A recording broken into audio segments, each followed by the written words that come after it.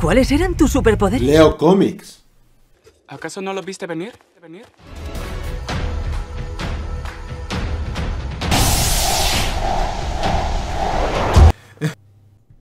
Muy buenas amigos amantes como el cine, en breve va a comenzar el directo, pero antes pásate por la tienda que tenéis en la descripción del vídeo, mirad qué ropa tan chida, bacana, chula, impresionante de los Vengadores y demás superhéroes, que realmente son una calidad excepcional y joder, sí, es, es, publicidad, pero bueno, que ¿qué queréis? Os tenía que traer algo y yo creo que está muy chulo, ¿eh? Es una ropa guapísima espectacular y es una pasada. Es una verdadera pasada. Así que nada, espero que te guste, que te pases con el link, te repito, que está en la descripción del vídeo o debajo de la pantalla, se me de Twitch. Y la verdad es que está guapísima. Vamos, increíble. ¿O no?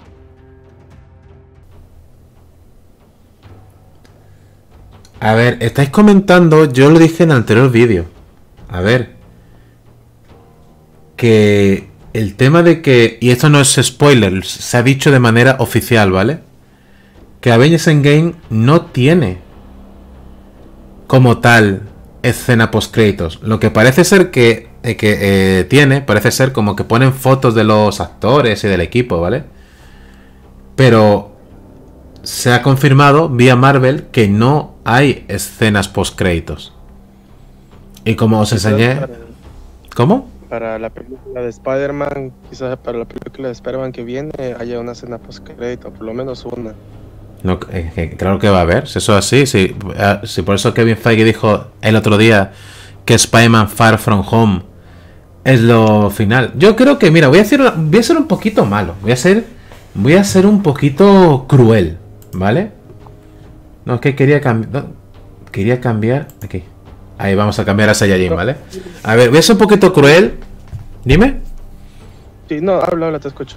Voy a ser un poquito cruel. Y por favor, quiero vuestra opinión, ¿vale? Vamos a ponernos en situación.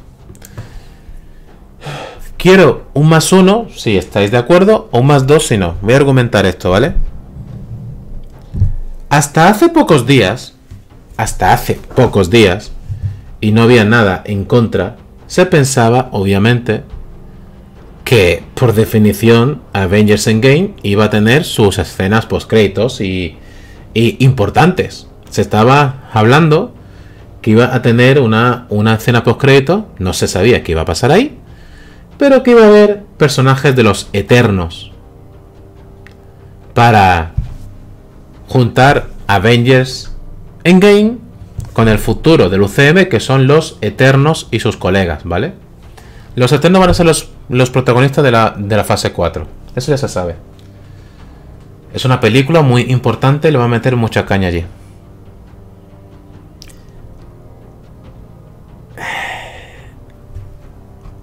Y ahora va la crítica. Los Eternos, la escena post de los Eternos se, empieza a hablar muy fuerte de ella desde octubre. Prácticamente se da un, hecho de lo que pasa en ella. No voy a decir el que pasa. No lo voy a decir, eso, sí sería un spoiler, pero bueno, va de los eternos. Tampoco es una. Oh, claro, qué raro que en una escena post te hablen de lo que viene del futuro, ¿no? No voy a decir lo que pasa, o lo que se supone que pasa en esa escena, ¿vale? Pues ya habéis visto vídeos de eso en el canal, pero bueno, ahora mismo no lo voy a contar.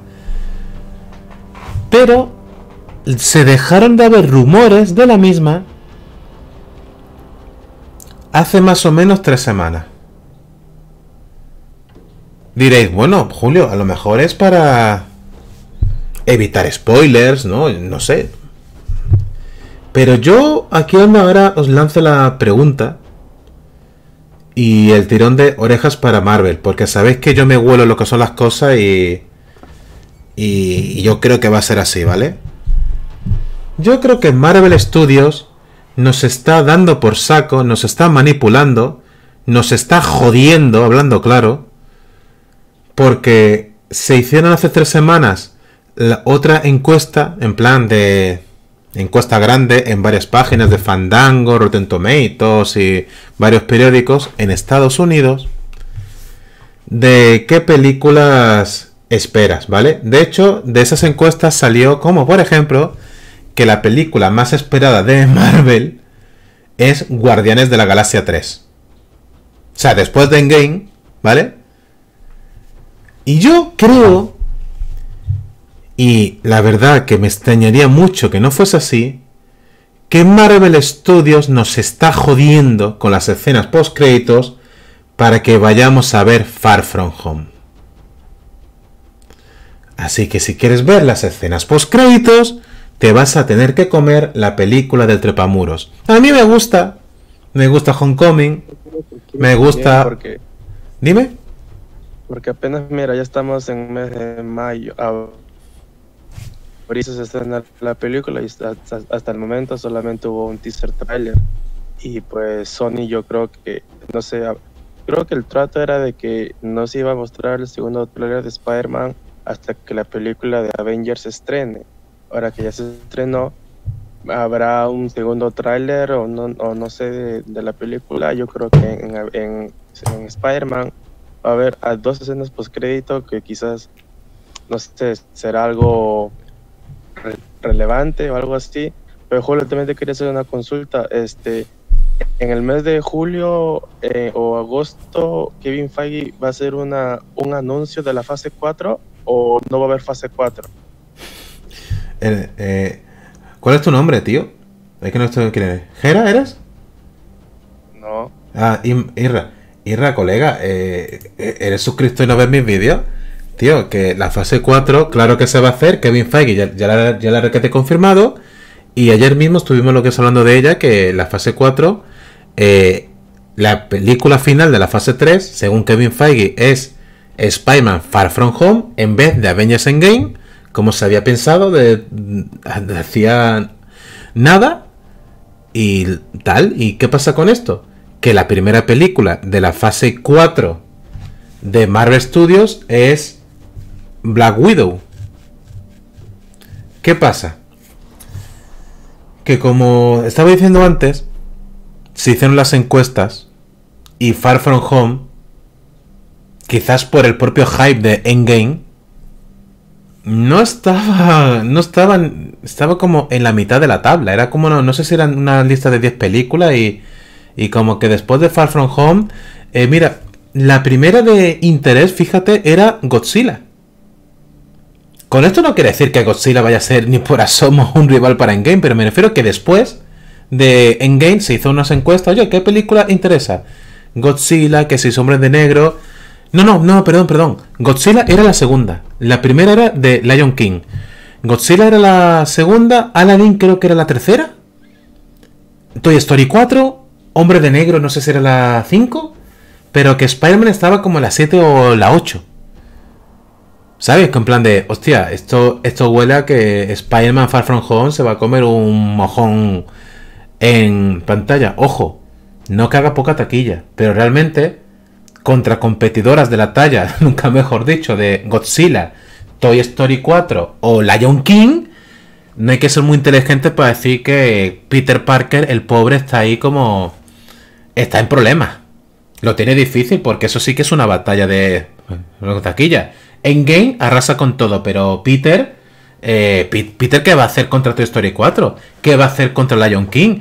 ¿Qué va a hacer contra Godzilla? Oye, que no lo creáis, pero Godzilla está generando un hype en Estados Unidos muy gordo, ¿eh? Muy gordo. Obviamente, no al nivel de en, Endgame, pero una pasada, tío. O sea, igual que la primera película de Godzilla mm, no, no tuvo mucho éxito y con Skull Island lo hicieron mucho mejor, esta última, con sus trailers, que por cierto, me preguntáis alguno, oye, ¿por qué no sube tu video de reacciones? Yo las subo, lo que pasa es que Warner me las tumba. No sé, eh, Warner ha cogido a Godzilla y los dos últimos trailers me los está jodiendo, tío. No sé. Bueno, en, su, en su cabeza loca pensará que no dejar a los influencers hablar de su película a generar promoción. Mira lo que hace Disney. Que te deja, te deja, te deja y eso es publicidad. Pero bueno, Warner a su rollo. Pues está generando un hype tremendo porque tú ves los trailers y dices, hostia, parece que, parece que la película va a ser es- espectacular. Y claro, y estaba en esa lista, eh, Spider-Man estaba como la séptima o la octava, ¿vale? De hecho, no sé si le hice vídeo o lo comenté en un directo, no me acuerdo. Eh, no lo sé. Como hablo tantas cosas, ¿vale? Pero entonces, ¿qué pasa? Que yo creo que han sacrificado para jodernos las escenas post-créditos en Endgame para que las veamos en Spider-Man Far From Home. Que ahora esto lo voy a unir con lo primero. Y quiero una pregunta, por favor, un- mejor, una respuesta seria. Como sabéis, más uno es sí, o podéis poner sí eh, eh, si queréis, y más dos es no, o un no, directamente. Si se filtran las escenas postcréditos en internet de Spider-Man Far From Home, ¿cuántos de vosotros realmente queréis ir al cine a ver la película? A mí me encanta, ojo, que quede claro. Pero entiendo que hay mucha gente que no le gusta. O sea, entiendo que no, que no le pueda gustar o no tenga interés en verla, ¿vale? Porque, ojo, Spider-Man, por muy buena que sea, va a ser como una, una Man 2, que después de ver Infinity War supo a poco. Y no que fuese mala, pero... Vale, pero Spider-Man Far From Home es como ese telonero que le toca tocar de- de- detrás de los Rolling Stones. Porque por muy bueno que sea, la gente ya se está yendo, yendo del concierto. ¿Entendéis? Yo creo que es eso, tío. O sea, ya os digo, a mí Far From Home yo la voy a ver, me gusta, me- amo a Spider-Man, es mi segundo personaje favorito de eh, Marvel. Pero yo entiendo que la verdad que esa película después de Endgame, por muy buena que sea, yo creo que va a saber a poco, tío. O sea, y Marvel tendría que dosificar un poquito su forma de estreno, ¿no? Porque Spider-Man prácticamente llega un mes después de Endgame. Más o menos. No sé si son cinco semanas después. Es como van a convivir en cartelera. Es como...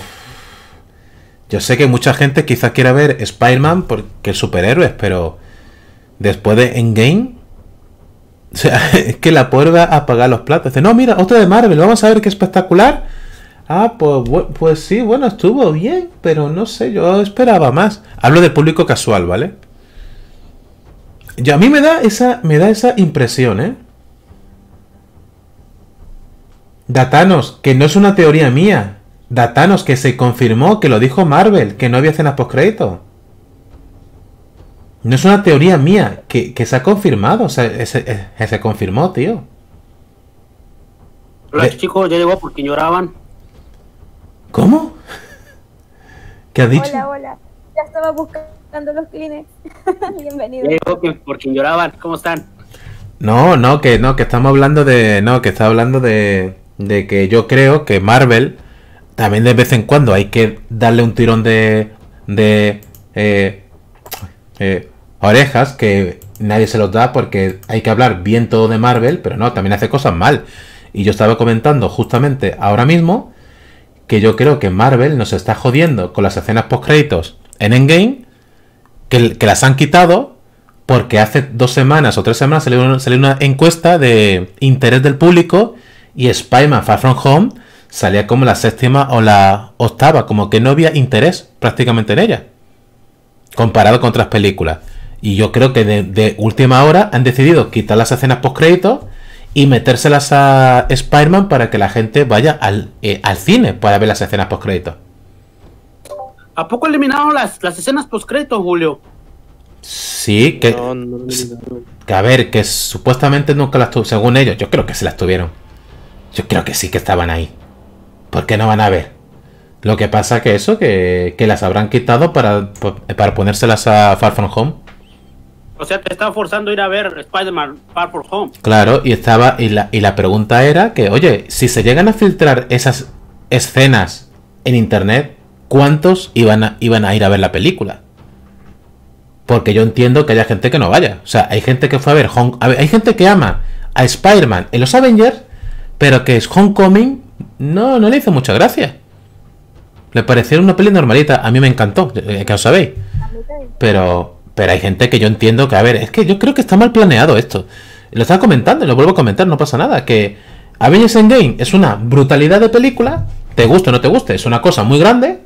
Y, y, y a, las, y a las 4 o 5 semanas te llega el pobre Peter Parker ahí, hola, ¿qué tal? Y claro, mucha gente dirá, bueno, es, es como la nueva Ant-Man 2, va a ser que mira que Ant-Man a mí me encanta, pero como después de Infinity War sabe a poco. Y yo creo que el reclamo de Marvel para que vayamos al cine a ver eh, perdón, Far From Home es que se diga que es la, como se ha dicho Kevin Feige, la última de la fase 3 y de ver las, en las escenas post crédito. Y como... Tampoco tiene escena post crédito. Sí las tiene. Es la final de la fase 3. Eh, sí las tienes, tú tranquila, sí las tienes. A ver, no, no. Ahora no empecéis con la paranoia. O sea, lo que ha pasado aquí es eso seguro. ¿Qué han dicho? Ah, no, ya es una pregunta. No, no, por eso he dicho que no empecéis con las paranoias de no, que no estará. No, no, tranquilos, que va, a- que va a tener. Esto se debe a una decisión eh, comercial seguro. Segurísimo. Porque, ¿Por qué? Porque para los inversores, aunque esa taquilla vaya para, vaya para Sony, está feo que un proyecto tenga poca taquilla. Así que van a intentar potenciarlo como sea. Y una forma de potenciarlo, y, obviamente es inteligente, porque hay que, hay que- reconocer que es inteligente para sus intereses, es ponerles las escenas post créditos reales para ver qué se viene en la fase 4 de Marvel Studios. Y, como, por ejemplo, el tema de los Eternos.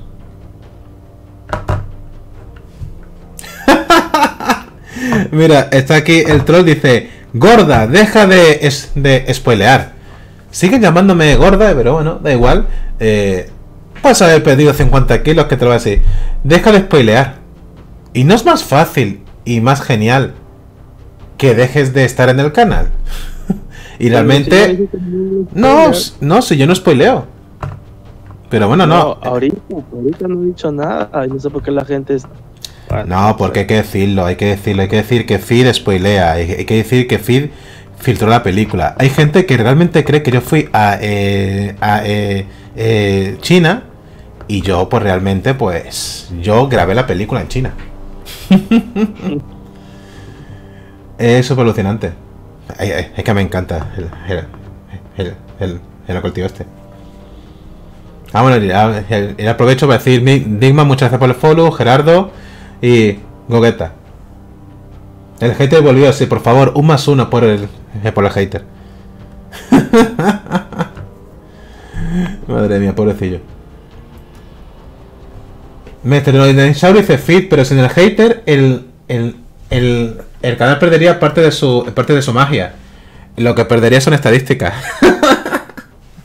no, que hombre, por favor. En fin. William dice, Phil está haciendo un favor para quedarte hasta que termine en los créditos. No, no es eso. Por lo visto, por lo que han comentado, y esto es real, han comentado que se ven algunas fotos del, de lo que es la... eh, de la... Ay, ¿cómo se llama esto? Del backstage, ¿vale? De la- las cosas estas de las cámaras, de los actores y ese tipo de rollo. Ah, pero esto es bien fácil, vamos a ver. Ay, no está Cerbs. No, no, bueno, sí está, lo que pasa es que está jugando. Está jugando Rocket League, o sea, como él ya, él ya vio la película ayer, porque él, él vive en, en Alemania, nos podría decir qué leche se ve en los créditos. ¿Quieres saber?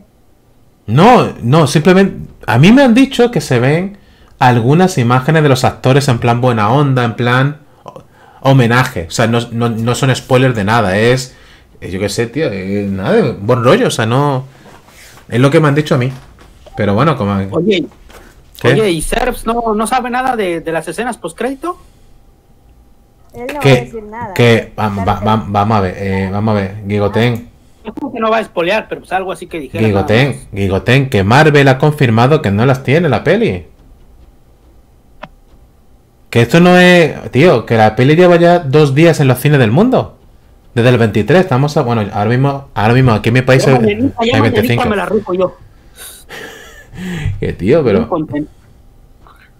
¿Sabes? Que esto no es. es no es eh, especulación, que se ha dicho. De hecho, eh, la prueba real de que no hay escenas post-crédito es que nadie está hablando de los que están spoileando por ahí escenas post-crédito.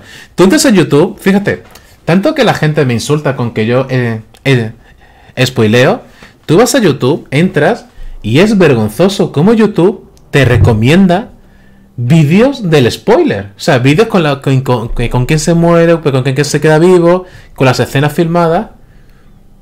Eh, yo llego a hacer eso y a mí Disney me cierra. Me, me cierra ¿Has eh, visto, Julio? Ese hace que ya eres. Ya te anda cazando Disney y a ti nada más. ya, ya. No, pero no pasa nada, tío. Fama. No pasa nada. A decir, vamos por Julio, vamos por Julio, ¿dónde está? Ya pues otro video, vamos. Vamos, vamos por ese maldito. Julio, dice. Mira, eh, eh, ahora mismo tenemos en, en YouTube 335 eh, eh, eh, espectadores y solo 135 likes. ¿Qué os pasa, gente? Chavos, pásese a Twitch. Twitch es lo de hoy.